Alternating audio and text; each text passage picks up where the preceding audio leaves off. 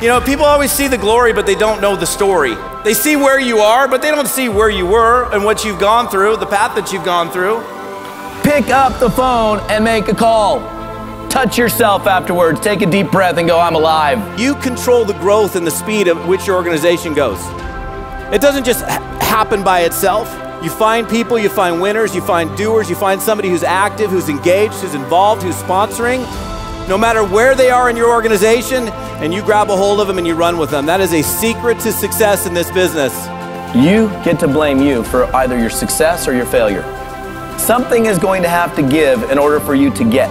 And you must build your business on a foundation of belief. So when somebody says to you, Is this network marketing? Your answer is, Heck yeah, it is. If it wasn't, I wouldn't touch it.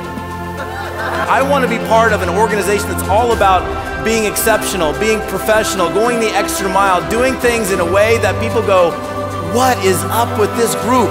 There's something about that group by, based on the way that they function and operate. Success comes to those people who come and get it.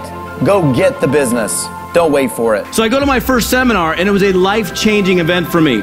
This weekend for you can be a life changing weekend for you if you let it. Ladies and gentlemen, it is time to make some noise to raise the roof. Get off your ass on your feet. Let's make some noise. Bring stage Mr. Todd Falcone!